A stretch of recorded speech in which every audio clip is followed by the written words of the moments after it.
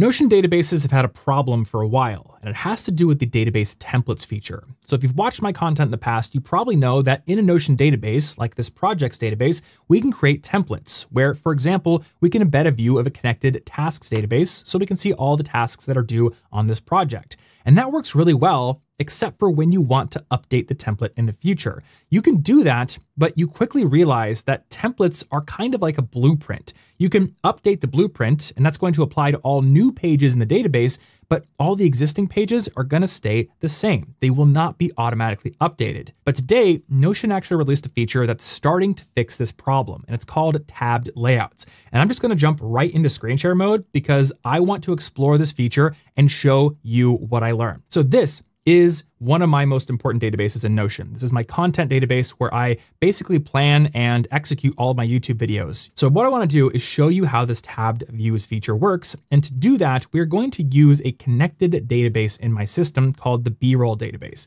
So by default in my system, I have this B-roll page that gets applied to every single one of my YouTube projects. And basically all of these are B-roll items, shots and animations and images, and even chapter markers that are associated with this particular content project. So right now, this is just a regular old linked database block, but we're gonna see if we can essentially recreate one of these views using Notion's new tabbed views. So let's go back to the database page itself. And if you watched my Notion layouts video, which would be quite useful to have watched for this video, because this is kind of an addition to it, right here, we're gonna have this customize layout button. So if we hit this button right here, we're gonna see this new view where we can customize the layout of all the pages in this database. We can pin properties to this heading section. We can create this side mounted property group. But what is brand new is if we click off of these selected areas here, we can see that we have a new structure option called tabbed.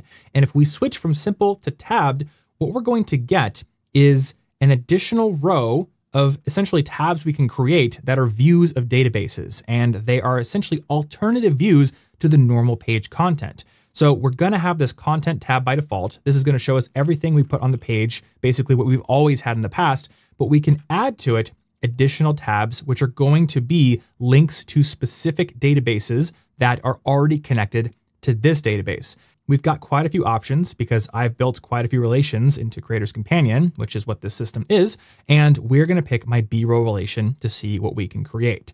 So by choosing B-roll, over here, I have what essentially looks like the same uh, set of view tools that we have when we create a linked database block. So let's go ahead and try to create that uh, time-based view from my B-roll page that I showed you earlier.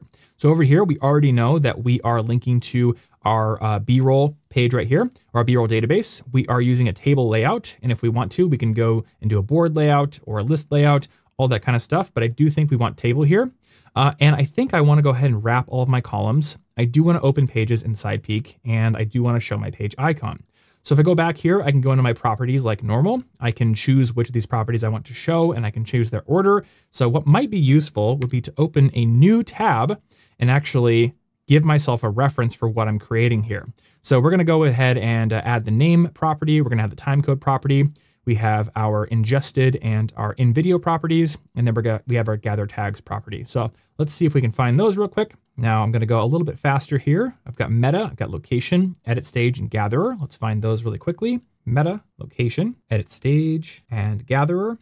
And then finally, it looks like I'm showing this little favorite property here. So we're gonna add that as well, and we're gonna go ahead and hide all of the other ones. So just click these as normal. And just like that, we've basically recreated all of the property visibility that we have in our B-roll page. So next, let's go ahead and actually uh, change the widths of some of these properties. And I think a lot of these can be just a bit thinner than they currently are. So next, we can go into our filters and our sort criteria, and we can use this as a reference just to see what we need to set up here. So uh, the only filter we have is where the content relation contains this video, and I think that's gonna be set up by default and will be something that we might not even be able to change, but we'll check there.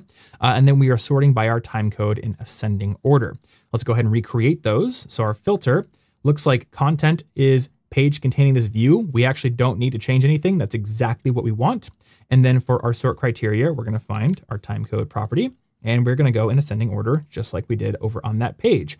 And I think that's pretty much all we're going to need to do. Let's go ahead and apply this to all pages. And I do wanna point out that this is the key here. We're applying a change to the structure of the database, which is fundamentally different than changing a database template. Because once I hit this, we're going to be making this change to every other page in the database. So here we can see, like normal, we've got our content tab and everything that I had normally before is here.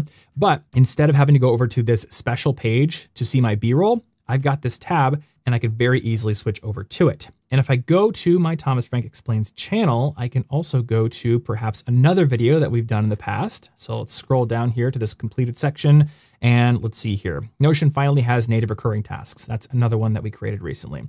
So if I open this, we're gonna see that the B-roll tab is present in this page too. That's because it's present on every single page in the database. We've made a change to the structure of the database, not just to a blueprint going forward. Now, I do have some initial feedback about this feature. Notice that in my B-roll page, I actually have multiple views of this database, and I actually use all of these. I've got this time view here, which just sorts all of the shot lists uh, items that I have by their timestamp value, but I also have this gather view over here, which groups all of them by their gather tag. So I can go and do all the overhead shots at once, all the whiteboard shots at once, all the screen recordings at once. Very good for batching, which is very efficient. And we also have other views like this meta tab over here, which allows me to more efficiently uh, collect my chapter markers, which I use to generate my timestamps.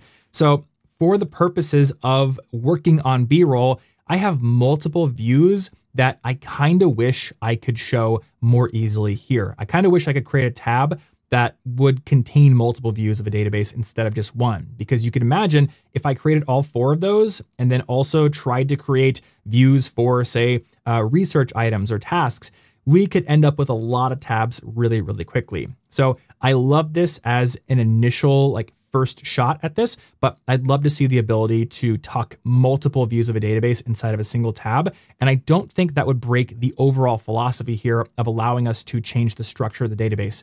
Um, I think it would actually just enhance that. So anyway, uh, that's it for this video. It's a pretty simple change from a surface perspective, but it's a pretty profound change under the hood, and hopefully you find it as useful as I think I'm going to. Anyway, if you want to understand this layouts feature more in detail, I made an entire video right there about Notion layouts, and there's another video right here that the algorithm is going to uh, recommend to you, I suppose. So check that out if you're curious to learn something else that I don't currently know about. Otherwise, thanks for watching, and maybe go touch grass.